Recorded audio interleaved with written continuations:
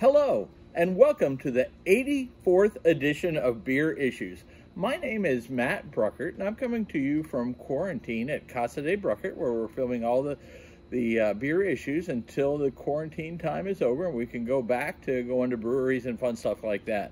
So today we're going to be having a beer from Maryland, uh, Duclaw Brewing Company.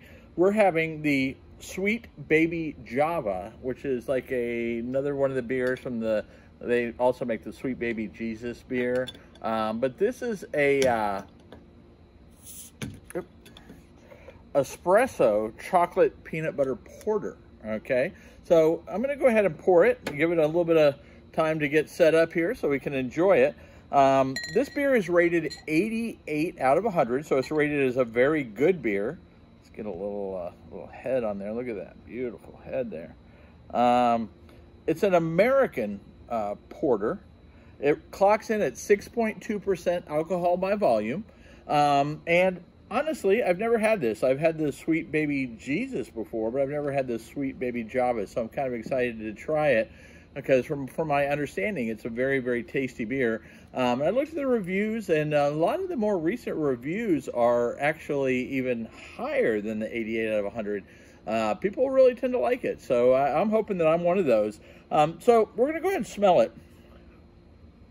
Oh, man. It's like a uh, smelling a chocolate bar right from Hershey's. So you get that really strong chocolate smell. Now, as you sniff it a little bit more, you start to get that coffee in there. And I do uh, smell that peanut butter. The peanut butter is lighter than I expected, which is probably pretty good because, you know, too much peanut butter in a beer, to me, it kind of uh, can spoil it. But it's, it's uh, kind of a tasty uh, addition to a porter. So I'm, I'm kind of excited about this beer. If I smell, as I smell it, it's, I'm even more excited about it. Mmm. Oh, yeah. All right, so I'm going to go ahead. Let's not waste any time. Let's go ahead and dive into this, and then we'll talk about uh, porters, the history of porters. We'll talk about the difference between a porter and a stout. A lot of things we're going to touch on, but let's taste the beer first, okay?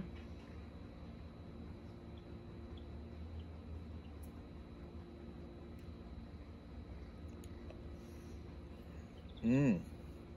Mm. So that's unique.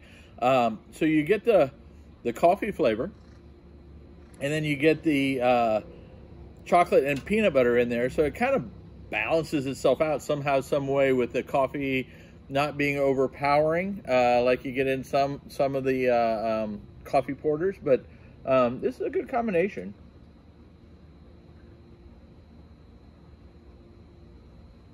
Mm. Yeah. So yeah, it's very good. If you want something different, this is a uh, I would say a different beer. I mean, if you like porters, uh, if you like a like a peanut butter porter, uh, this might be right up, right up your alley. But the one unique one about this one is I taste quite a bit of hops in there, which is uh, the um, hops are not uh, normally real as prevalent in a um, porter. So it's kind of a unique blend of the coffee, the the peanut butter, chocolate and then you get some hoppiness to it. So it's unique. I like it. I mean, I'm, I'm a fan of the hop, so it doesn't uh, bother me in the slightest bit. But if you're not hop fan, you might find it a little bit on the uh, more bitter. But I think it's, it's, it's got a sweetness to it. But the bitterness you get from the hops. But there's also malts in there. When you're talking about a, a, a porter, you know, there's uh, uh lots of uh, the uh, malt. So let's talk about this uh, real quick. Let's talk about the history of uh, porters, okay? Because I don't taste porters. I don't know why I don't do it, but I don't usually uh, pull out a porter. Maybe because it's summer, you know, almost summertime. Maybe in the winter I'll pull out a few porters and we'll, we'll try some porters. Because I've always loved porters. It's just I don't drink them that often, except for in the wintertime when they're a much more commonly drank beer. You know, and the when it's warmer outside, drinking a porter isn't always as comfortable.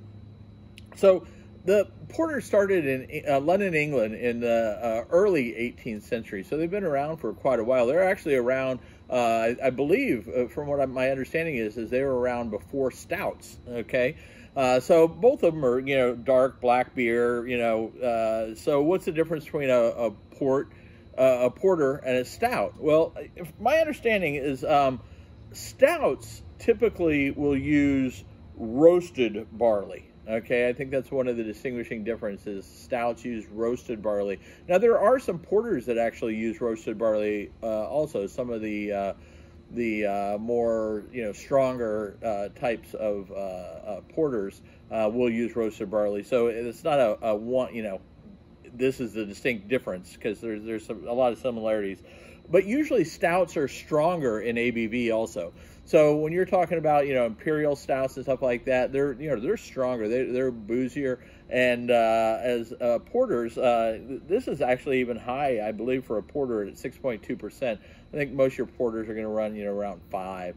Um, so your stouts are usually going to be stronger and they're going to be using that roasted barley. So um, that kind of just tells you briefly the difference between a porter and a stout. I just wanted to make sure I put that out there because a lot of people have asked that. What's the difference between a porter and a stout? So I'm glad that I was able to share that with you. Um, uh, anyway, if you've enjoyed this, make sure you tell your friends. Make sure they tell their friends and their friends tell their friends so everybody knows about beer issues.